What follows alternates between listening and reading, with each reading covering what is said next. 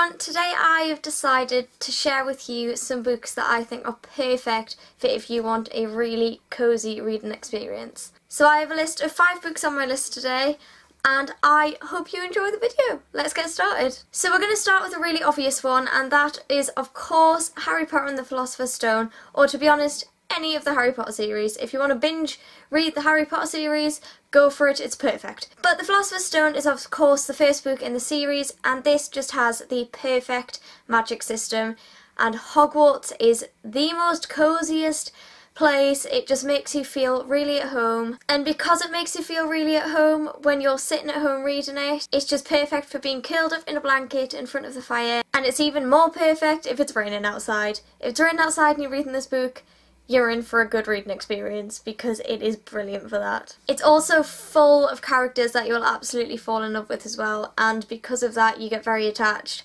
and you do start to feel every emotion going. It is just the perfect read. The next book I have is The Hobbit by J.R.R. Tolkien and this is of course very well known, I'm sure you all know what The Hobbit is about. It's full of mythical creatures, lots of action and excitement and these characters go on a quest to defeat Smaug, who is a big dragon. And this is to claim back the land that he has completely taken over. So it is just the best read. It is so good. I think fantasy reads at this time of year are brilliant. It's such a good time to read fantasy. And just to make it even better, these characters are so addictive to read about. By the end, you have probably cried at least twice, and right at the end, you will probably cry a whole lot more. It is so emotional. There is one paragraph in this, quite near the end, that had me crying my eyes out. I promise you, it is not a disappointment. You will get incredible emotions for these characters.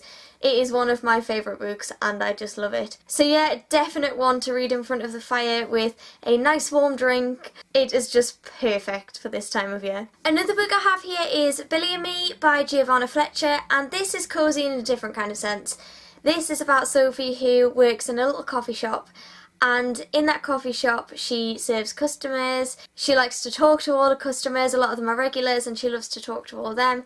And the locations in this story are just so so cozy. You've got the sort of countryside locations, obviously the coffee shop itself, Coffee shops are brilliant places to read about at this time of year because all you want at this time of year is a nice hot drink and to curl up in a nice warm blanket and this read, because of the coffee shop and because of the locations being in the middle of the countryside, there's not a lot of people. It's quite quiet and tranquil and it is just lovely. I also thought in this story the character development is really, really good. You get to know the characters at a really good pace and you do get quite emotionally attached to them in this story as well. I think at this time of year, getting emotionally attached to characters is one of the things to look for. Because if you are going to get emotional it's probably best you do it in a nice quiet spot in your house wrapped up in a blanket. That's my opinion anyway. It's a bit random, but let me know if you agree because that is how I feel. And the next book I have is a book I haven't read for a while, but I do remember it being really, really cosy, and again, the locations are a major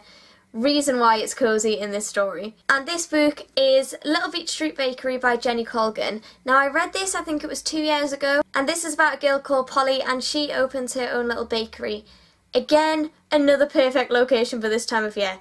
Coffee shops and bakeries, you couldn't get any better. And it's not just about that though, because it's also about Polly trying to find herself and where she wants to be and how she can become successful. And you get a real sense of family sort of aspects in this story as well without people actually being related because the neighbours of Polly just help her out so much and they just stick together and really support each other and I think that's a really really nice element to this story. So yeah that is my next book on this list for cozy reads, I definitely recommend it. And the final book I have on this list is On the Other Side by Carrie Hope Fletcher and this is about Evie Snow who dies in her sleep at the age of 82 and she then has to go and try and find her own private heaven because the doors are locked to this heaven and she needs to discover why.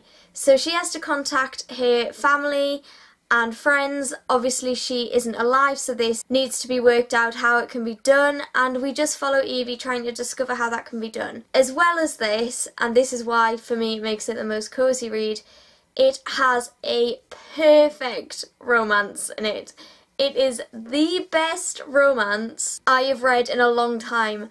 I absolutely adore the characters in this book and I highly recommend it if you want a good romance story. It is very emotional. It will probably make you feel every emotion under the sun again, but this is an amazing read if you want a cozy reading experience. So I definitely recommend this story. So that is it for this video. I hope you've enjoyed it.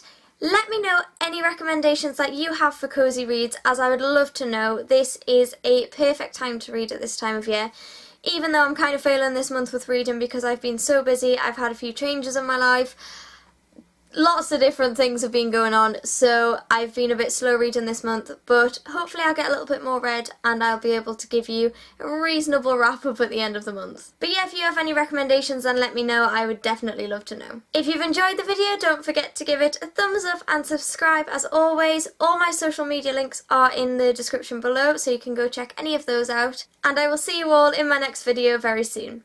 Bye!